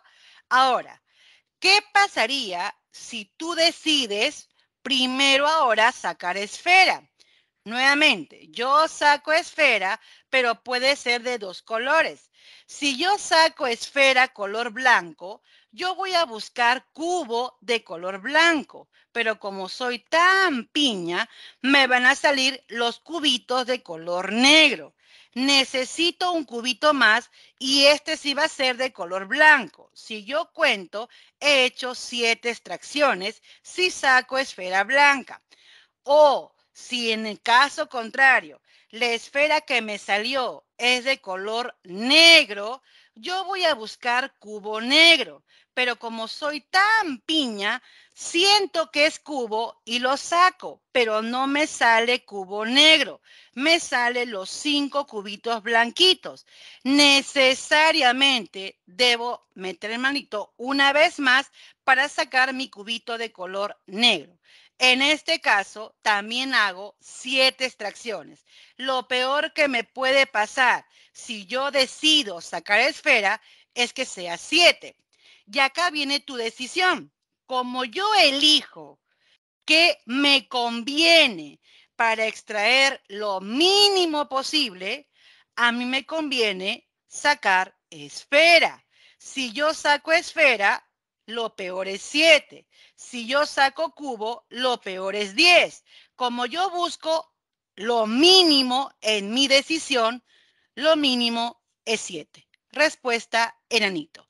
Muy bien, Oder, excelente, Kiara. Muy bien, Merly. La respuesta es la E. ¿Sí? Me da mucho gusto que este problema de certeza sin azar se haya entendido y no estén dudando. Chicos, es tu decisión. Tú eliges. Y eso es lo bonito que tiene certezas en esta parte real. ¿Ya? Muy bien. Terminado la parte de certezas, vamos a entrar al segundo temita, que es la parte de relojes. Y para que no nos gane el tiempo, vamos a comenzar entendiendo un tantito la teoría. Yo sé que acá a muchos se nos va a complicar más que todo entender un poco de la parte teórica, ¿ya? Pero chiquitines, explicando de forma gráfica, vas a ver que esto es bien sencillo. Acá hay pequeñas cosas que tú sí sabes, ¿ah? solamente hay que recordar. Primero, ¿sabes esto?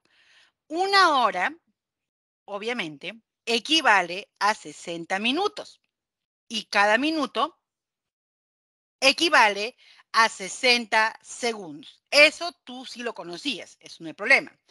En el reloj de manecillas o reloj de aguja que está acá abajo, la manecilla más pequeña, esta la más chiquita, se le llama horario. Y la manecilla más grande se le llama minutero. Yo sé que ustedes ahora dirán, pues, falta una más, que es el segundero. Chicos, no trabajamos con segundero en el reloj de aguja dentro de la parte del lógico.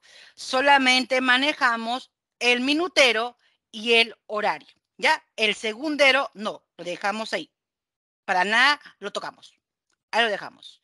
Luego, ¿qué también podemos recordar?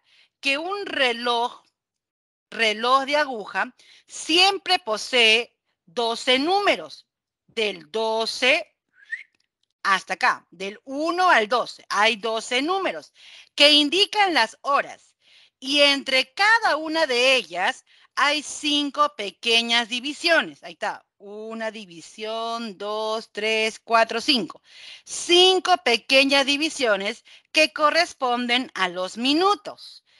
Toda la circunferencia está dividida en 60 divisiones. ¿Qué más?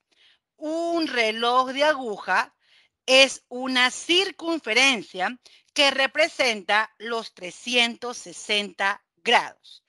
Y acá vamos a explicarte y hacerte recordar este pequeño detalle.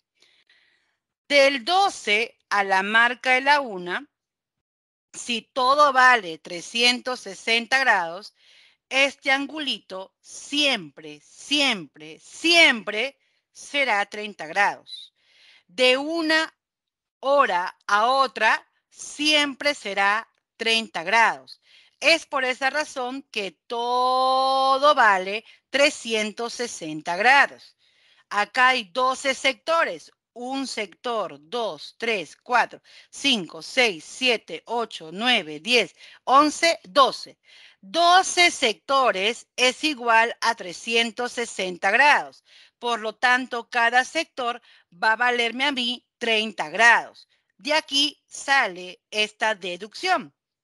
Y es más, si tú sabes que cada sector va a valer 30 grados, quiere decir que cada una de estas divisiones, ¿cuántos grados es? A ver, ¿tú qué dices? Si cada sector es 30 grados, cada una de estas divisiones chiquititas ¿cuántos grados es? A ver.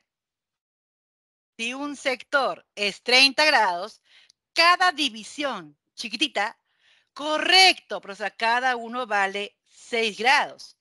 Quiere decir que si esta división era un minuto, un minuto forma 6 grados, ¿correcto?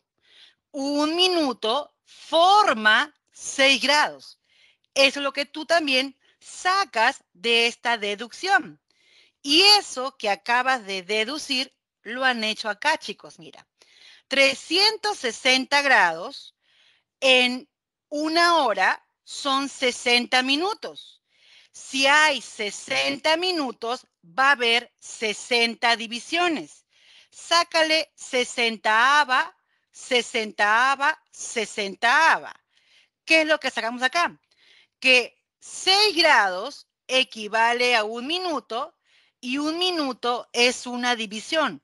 Es justamente lo que has hecho acá. Mira, una división, 6 grados. Un minuto equivale a 6 grados.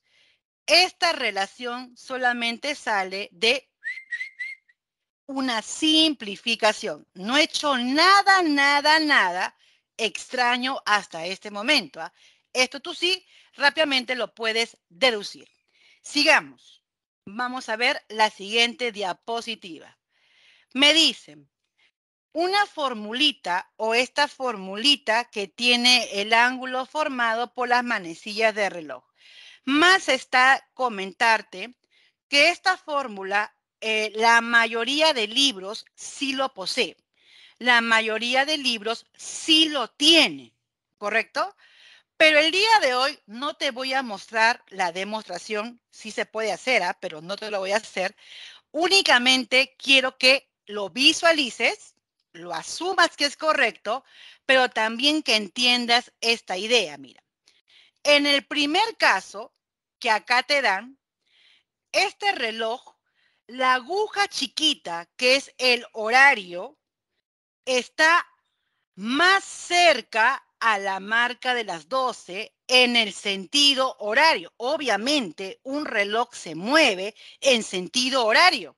Por lo tanto, esta aguja pequeña está más cerca de la marca de las 12.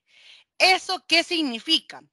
Si la chiquitita está más cerca de la marca de las 12, en la fórmula primero van las horas. Mira, primero van las horas. En este segundo caso, la aguja grande, que es el minutero, está más cerca de la marca de las 12. ¿Eso qué significa? Que en la fórmula primero van los minutos. Mira lo que quiero que entiendas. Esta relación solo es posición. Solo es posición. La fórmula es muy parecida. El ángulo formado será, si las horas están más cerca, 30 veces horas menos 11 medios de minutos. Pero si minutero está más cerca a la marca de las 12, esto es al revés. 11 medios de minutos menos 30 veces la hora. Son lo mismo, pero solamente es por posición la diferencia, ¿correcto? No te memorices una de la otra, no, solamente velo de esta manera. La fórmula lo decide la posición. Si horario está más cerca, primero van las horas. Si minutero está más cerca de la marca de las 12, primero van los minutos. Y lo demás es lo mismo. Menos 30H, menos 11 medios de M. ¿Correcto? Muy bien. Acá te han puesto una, un ejemplo que dice así. En un cálido día, el reloj mostrado indica cuando Anita sale de su casa. ¿Qué hora es en este instante? Muy bien. Chiquitín, tú sabes lo siguiente. Todo un reloj es una circunferencia.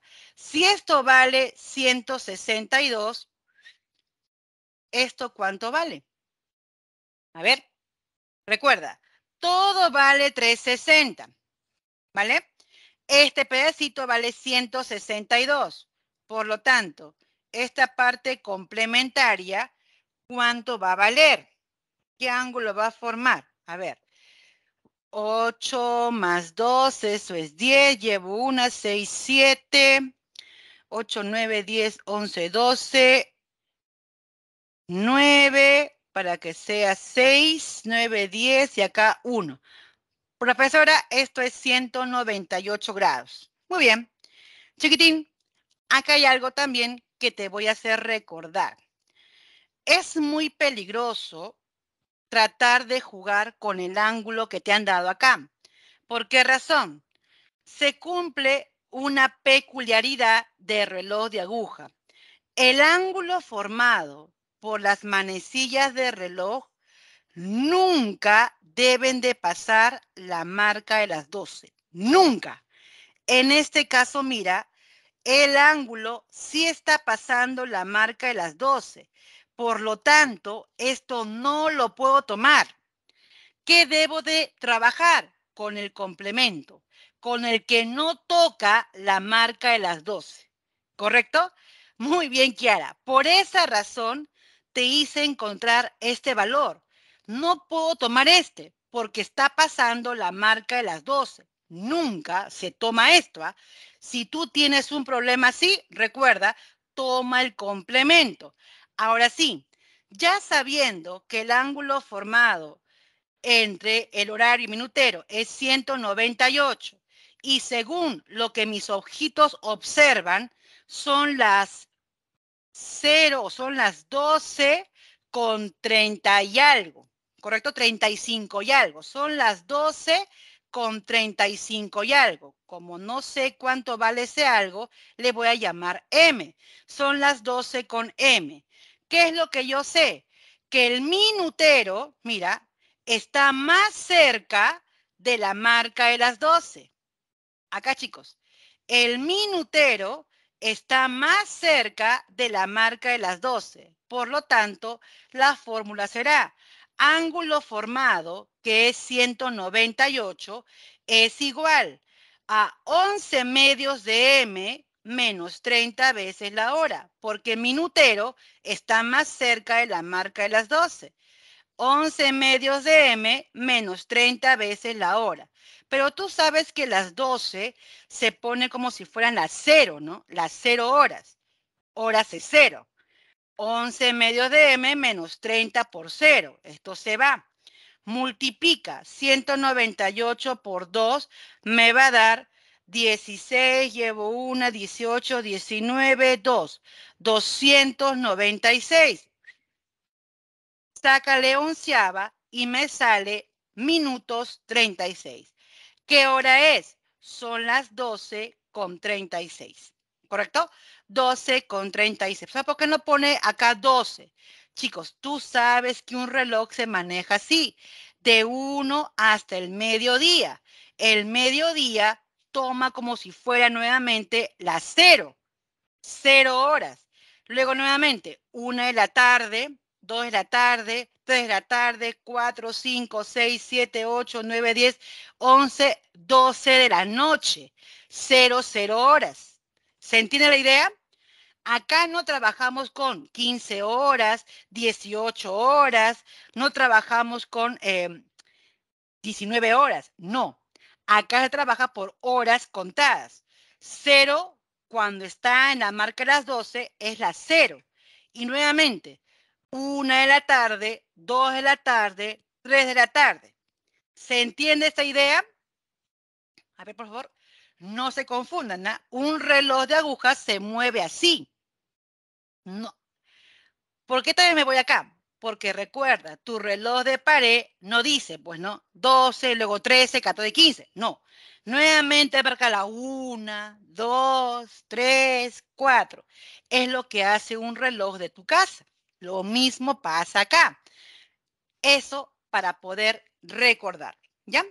Vamos a ver ahora otro tipo de problema que también tiene que ver con reloj de aguja. Esto es ángulo formado por las manecillas de reloj. La pregunta típica que en la mayoría de exámenes aparece es esto. ¿Qué hora es? ¿O qué hora indica el reloj mostrado? Chiquitines, para que tú sepas qué hora indica el reloj mostrado, tú siempre debes de partir de la hora de referencia.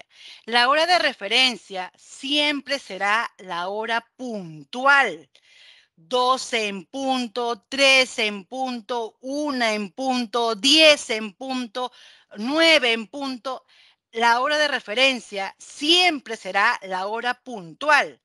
Y acá está la hora que a ti te piden calcular es como en este ejemplo, ¿no? La hora puntual te han dado las 3 en punto, las 3 con 00 minutos. Pero en cambio acá te dicen qué hora es.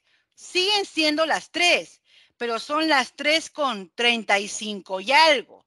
Como yo no conozco este algo, yo le llamo 3 con m minutos.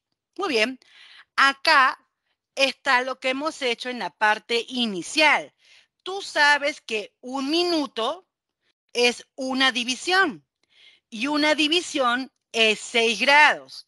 Si a todo esto tú lo multiplicas por m, ¿por qué por m, profesora? Para poder encontrar los m minutos. Recuerda, son las 3, pero con m minutos. Ah, ya. Por esa razón le multiplico por m. Multiplicando por m, ¿qué me sale? m divisiones, m minutos, 6m grados. ¿Correcto? Ahí está. m divisiones, m minutos, 6m grados. Muy bien. Ahora, la relación que tiene el horario con el minutero es como de 1 a 12. ¿Por qué? porque tú sabes que la aguja chiquita, la más chiquitita, la que es el horario, ahí está, horario de la marca de la 1 a la marca de las 2, el horario para que avance de 1 a 2, el minutero, que es la aguja grandota, ha recorrido los 12 sectores. Es por esa razón que la relación que hay entre horario y minutero es de 1 a 12. Mientras que la chiquita avanza un sector, la grandota avanza los 12 sectores. Ahí está. Relación de 1 a 12. ¿Correcto? De acá, chicos, podemos despejar. Horario es como decir M doceavos. ¿Correcto? Horario es como decir M doceavos. Se acabó el problema. ¿Qué es lo que yo sé? Como horario es m doceavos, yo lo voy a dividir entre 12. Dividiendo todo entre 12. m entre 12, m doceavos divisiones.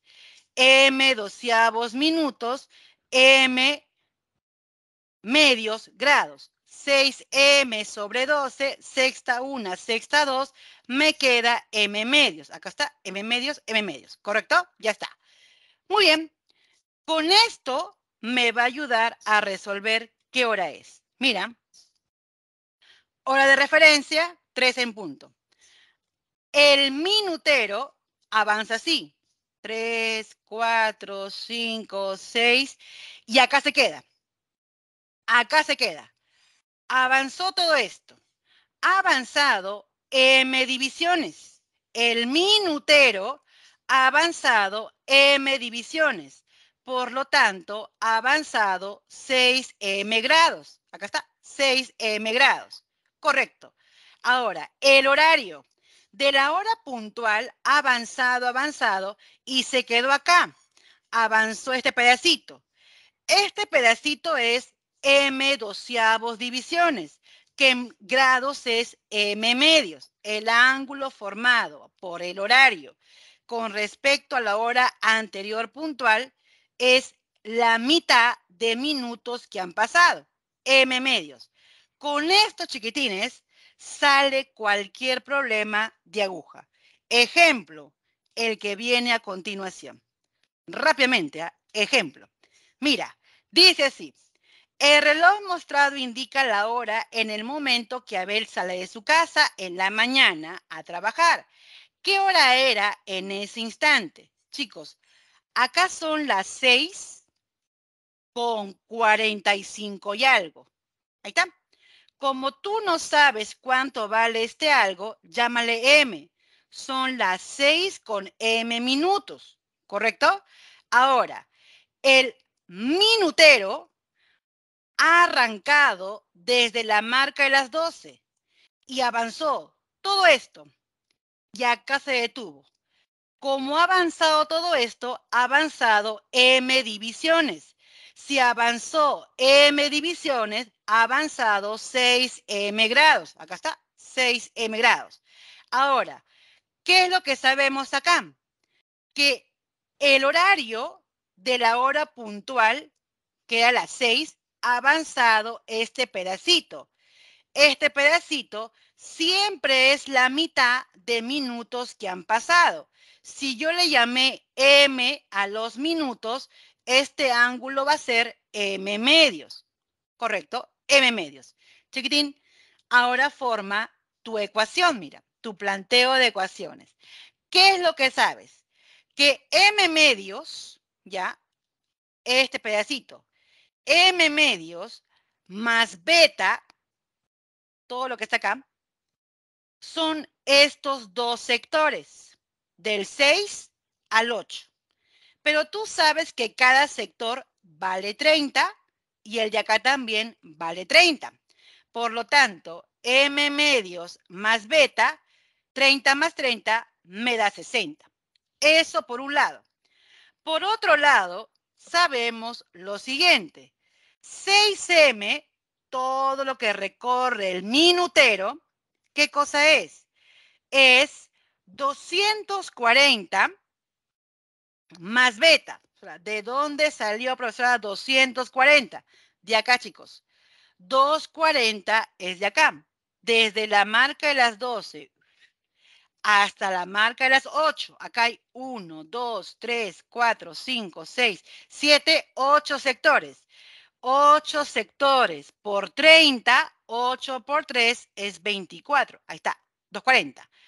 8 sectores más beta. Ahí está, más beta. Muy bien. Beta, ya acá lo despejas, 60 menos m medios. Esto acá lo vas a reemplazar. Reemplazando, tendrías esta relación. Reemplazo, reemplazo, y me quedaría 13 medios de m igual a 300. De acá me saldría 600 entre 13. 600 entre 13 me sale 46 2 treceavos, fracción mixta, clave casita. Muy bien, Kiara, la respuesta es la C. ¿Ya? Chicos, acá lo que sí te tengo que pedir es que trates de recordar la forma de fracción mixta en tus divisiones. Por ejemplo, ¿no?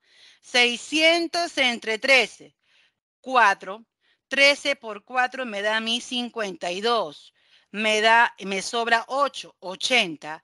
Acá 6, 6 por 3 sería 18, 2, me sobra 2.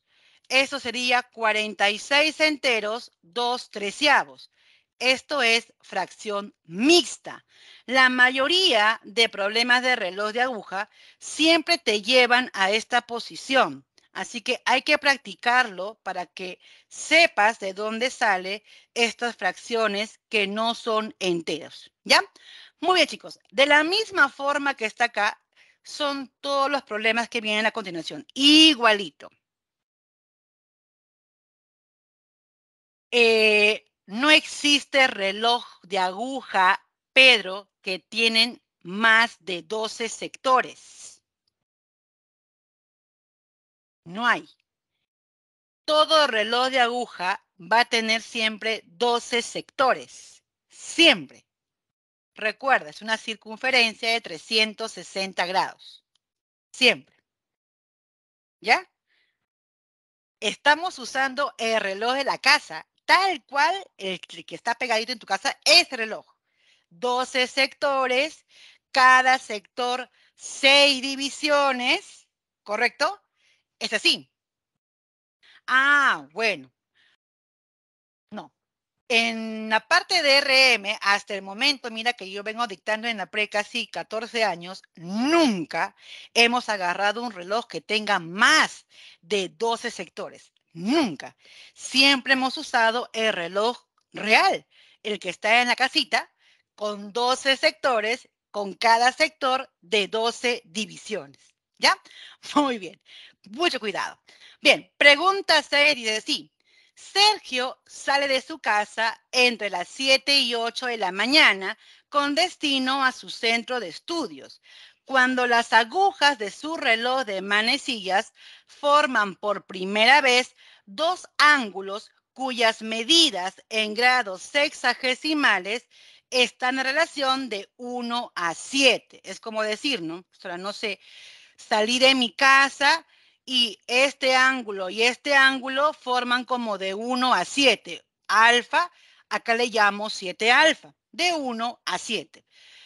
De acá me sale que el valor de alfa es 45. 8 alfa igual a 360 y alfa me sale 45. Si el tiempo que demoró en llegar a su centro de estudio fue de una hora, ¿a qué hora él ha llegado? Muy bien, chicos. Dice que está entre las 7 y 8 de la mañana. Ahí está. Y acá está el valor de alfa, 7 alfa. ¿Correcto? ¿Qué hora es? Son las 7 con m minutos. ¿ah? Por si acaso, yo no sé si son 7 y media. Únicamente le he puesto así, 7 con alfa. Muy bien. ¿Qué es lo que sé? Bueno, que el horario está más cerca de la marca de las 12.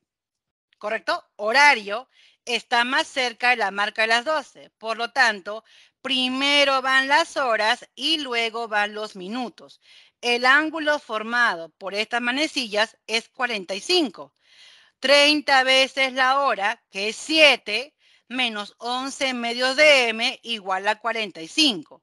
m vale 60. Si m vale 60, quiere decir que él salió de su casa a las 7 y media. Se demoró una hora al trabajo. 7 y media más una hora, él llega al trabajo a las 8 y media clave barquito. Muy bien, Kiara, esa fue la pregunta 6. Únicamente jugar con los ángulos como el primer ejemplo que hemos visto. Vamos ahora a la pregunta número 7. Acá sí, me preguntan qué hora es. Dice, cada mañana Rosa sale de su casa para trabajar, justo la hora que indica el reloj que muestra la figura. ¿A qué hora sale a trabajar Rosita? Chicos, el reloj dice que son las 9 con 30 y algo, ¿correcto? Son las 9 con 30 y algo, 30 y algo. Ese algo es menos de 35, ¿vale? Muy bien. Hagamos entonces lo siguiente. Bueno, son las 9 con 9 minutos. El minutero arrancó en la marca de las 12 y acá se detuvo. Esto es 6M. El ángulo formado por el horario con respecto a la hora anterior puntual es alfa. Y si yo le llamé M a los minutos, esto va a ser M medios. Acá está, alfa es igual a M medios. Chicos, se acabó el problema. 6 veces M que es todo lo que recorre el minutero, ¿qué cosa es? Del 12 hasta el 5 hay 1, 2, 3, 4, 5 sectores. 5 por 30, eso es 150. Más 3 veces alfa. Acá está, más 3 alfa. Pero tú sabes que alfa vale m medios. Allá lo voy a reemplazar. Reemplazando una en la otra, despejas el valor ahí está, reemplazas y te sale que m es 300 sobre 9. Divides y te va a salir una fracción mixta, 33, un tercio de minuto. ¿Qué hora es? Son las 9 con 33, un tercio de minuto. Muy bien, Brenda, excelente, Oder. La respuesta es la E. Se dan cuenta que todo es solamente reemplazar, reemplazar es la misma idea. Un reloj de aguja siempre tiene esta misma forma de plantilla. No hay nada que cambiar, absolutamente nada.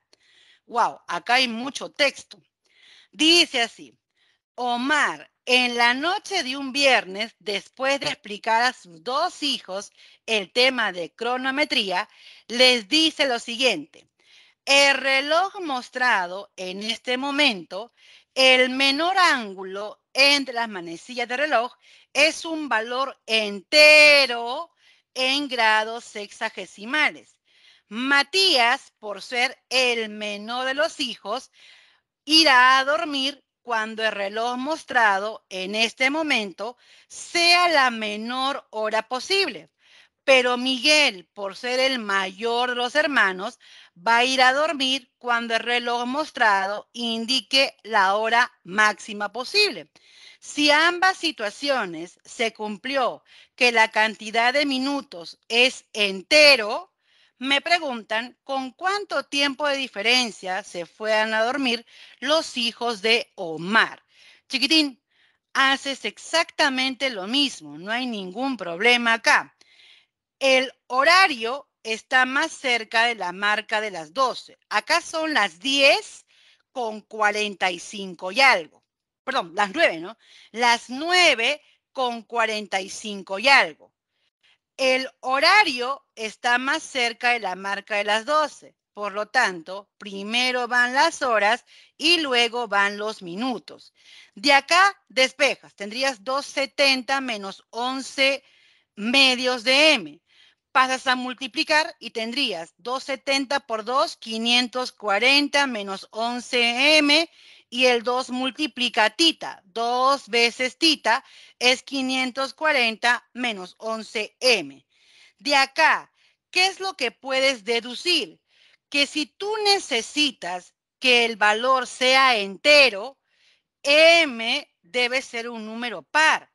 Tiene que ser un número par. ¿Por qué? porque necesito que sea entero. Si yo le doy un valor impar, cuando yo reste a 540 y lo divide entre dos, va a darme no un valor entero, me da fracción. Ah, ya. De acá deduzco que m tiene que ser par. Pero tú sabes que m está entre 45 y 50, ¿correcto? M está entre 45 y 50. No hay otra opción. Ahí está. Y el valor de tita va de 0 hasta 30. También esto tú lo conoces. Como yo necesito el menor valor para un hijo, ¿qué es lo que hago? Al valor de M le voy a dar el menor que puede tomar, par M que sea 46. Mira, recuerda, para Matías, tú necesitas que tome el menor valor.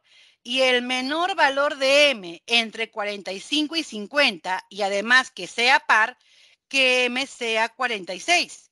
Si yo reemplazo acá, acá, M 46, correcto, reemplazo el valor de tita ¿Cuánto me sale? A ver, M46 se va, se va, sería 23. 11 por 23, 270 menos 11 por 23. 270 menos 11 por 23 me daría 17. El ángulo sería 17. Y esto es para Matías, ¿ah? Para Matías. Para Matías el ángulo me sale 17. Ahí está. Ahora voy a buscar para el mayor. Para el mayor sería para Miguel. Para Miguel, el mayor valor que puede tomar M va a ser 48. Recuerda, tiene que ser par. Si M ahora es 48, lo reemplazo. El tita me sale 6. ¿Qué hora sería? 9 y 46 para Matías 9 y 48 para Miguel, que me preguntan, ¿qué tiempo de diferencia se fueron ellos a dormir? De 8 y 48 a 8 y 46, o al revés, de, perdón, de 9 y 46 a 9 y 48, ¿cuántos minutos hay diferencia? Solamente hay dos minutos. La respuesta sería la E. ¿Se entendió, chicos? A ver. Recuerda, por favor, las condiciones de problema. Quiero que sea entero. La única forma que sea entero es que M sea par. Si yo le doy impar, me sale fracción. Tiene que ser par. Segundo, tú sabes que la aguja grande está entre 45 y 50. Allá, el menor valor que puede tomar el minutero par es 46. Cumple, por lo tanto, se fue a dormir a las 9 y 46 Matías. El mayor valor que puede tomar M y es par es 48. Cumple que es entero, por lo tanto, Miguel se fue a las 9 con 48. ¿Cuánto de diferencia hay? Solamente hay dos minutos. Respuesta, enanito. ¿Ya? Muy bien, chicos. A practicar esta partecita. Recuerda, todo sale con la misma plantilla que hemos visto en la pregunta 6, en la pregunta 7. Y también con el problema de ángulo formado con las agujas de reloj. Tómenle, por favor, fotito a las claves de los propuestos. Y chiquitines, fue un gusto de verdad volver a tenerlos juntito a mí en este nuevo año y esperemos que siga así hasta el final. Cuídense mucho, me alegra verlos. Hasta luego. A todos gracias. Chao, chao chicos, cuídense.